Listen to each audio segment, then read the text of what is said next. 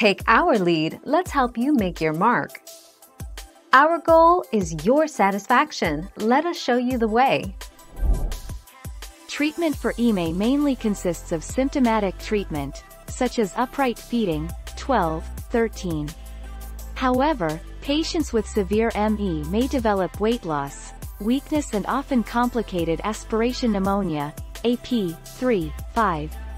The prognosis of ME is poor, and the median survival time has been reported to be 90 days in dogs, 7.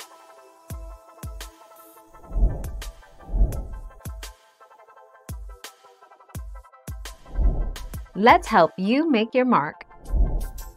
The Bailey chair is the essential version of an upright chair for successful treatment of megaesophagus in dogs.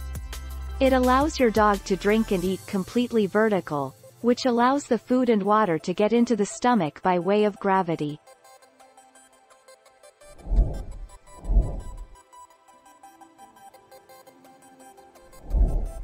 Take our lead. In some individuals, you can actually see a bulging of the esophagus at the base of the neck, and touching that area may be painful. These pets may act hungry but then pick at their food to avoid the coughing and gagging they associate with eating.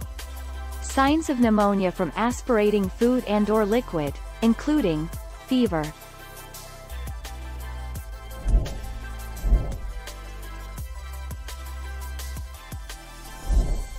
Take our lead. Options to try include meatballs of canned or homemade dog food, a thin slurry of food and water, a thicker gruel, and thoroughly soaked kibble. When dogs are unable to keep down enough liquid to meet their needs, they can be supplemented with gelatin squares, often called Knox blocks, or subcutaneous fluids.